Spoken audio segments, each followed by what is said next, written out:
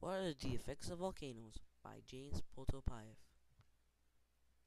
Produced with Windows Live Movie Maker. A volcanic eruption can have many different effects.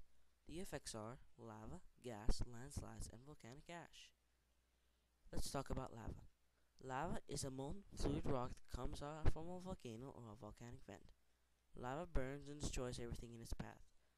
It is one of the main effects of a volcano. Lava can either shoot out of a volcano, volcanic vent, or come on the top of the volcano's layers, moving down fast or slow, lava flows. Next is volcanic gases. These gases contain harmful gases and create a lot of changes in the Earth's atmosphere.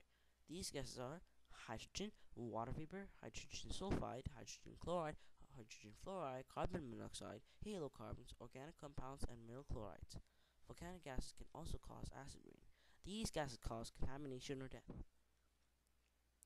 Moving on to landslides. Landslides are debris flows on slopes of soil because of gravity. They can happen on any area depending on the soil, moisture, and angle of the slope. Landslides can be formed by volcanoes because of the volcano's vibration of eruption. In the past, landslides were responsible for burying cities. Now I'll be talking about volcanic ash. Volcanic ash consists of small and sharp rocks. These rocks are formed from the breakdown of magma. When a volcano erupts, they can spew out ash particles in a long distance. Volcanic ash can also cover a lot of area.